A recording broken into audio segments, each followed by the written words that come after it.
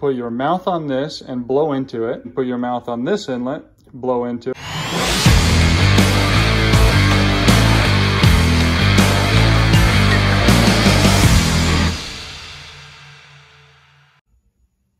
Hey, welcome back everybody to AutoRaiders.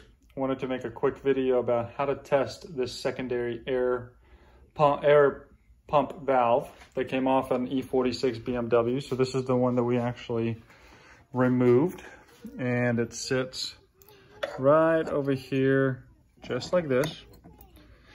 And then it's connected to a secondary air pump that sits right there, which is right there.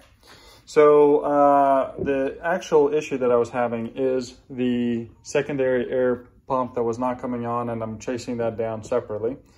But in the process, I found out that this check valve is also not working. So your vacuum line is connected through here, going back to your uh, back of the um, uh, intake manifold.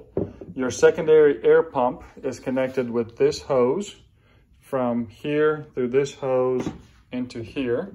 And then here's your exha exhaust uh, output uh, through here. The way it works is that the air is supposed to travel from the secondary air pump into this inlet here and into out to the exhaust, through the exhaust. However, whenever the exhaust, whenever the car is running, the exhaust gases are um, trying to run in this way, and it's supposed to be a check valve that's supposed to shut it off and prevent it from coming back into the secondary air pump. So the easiest way to check this is once you remove it is as follows. So you can, I cleaned this one off uh, pretty well. So you can put your mouth on this and blow into it. And technically it should not allow any air to flow through here. And then you can put your mouth on this inlet, blow into it, and air should be coming out of this way. Again, this is a one-way check valve. So let's go ahead and try that. Okay, so no air coming out of here. Now let's try it by putting our mouth on this one and seeing if air comes out here. Nothing. So that's how I found out that I have a bad valve and I need to replace it. So even if the secondary air pump was running and is pushing air through here, it, the check valve is frozen shut in there and it doesn't work. So then I went ahead and tried to go a cheap route. I went on eBay and found one online for 10 bucks, uh, even though I think these are normally about 30. But uh, let's try the same test. Blow into here. You can hear air coming out of this one. So the check valve is actually not working. So if I was to install this on the car and the and the exhaust uh, the exhaust gases are coming through here, all they're doing is just blowing right back into the secondary air pump. Similarly, if I blow through here,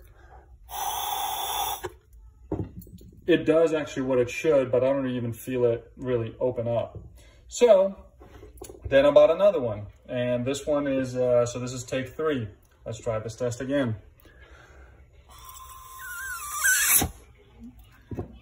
It sounds like very, very little bit is escaping or trying to, trying to go through here.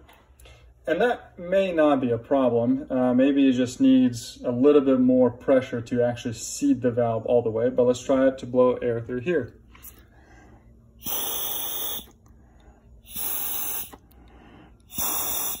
You can actually hear it try, you can actually hear it open, the diaphragm open. So um, I think I'm gonna try this one out. If it doesn't work, I can return. I actually got this one off Amazon, a little bit more expensive. I think this one was 15 bucks.